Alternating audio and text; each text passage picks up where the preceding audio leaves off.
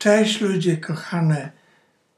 Słuchajcie, w Jeleniej Górze zaginął 58-letni grzybiarz.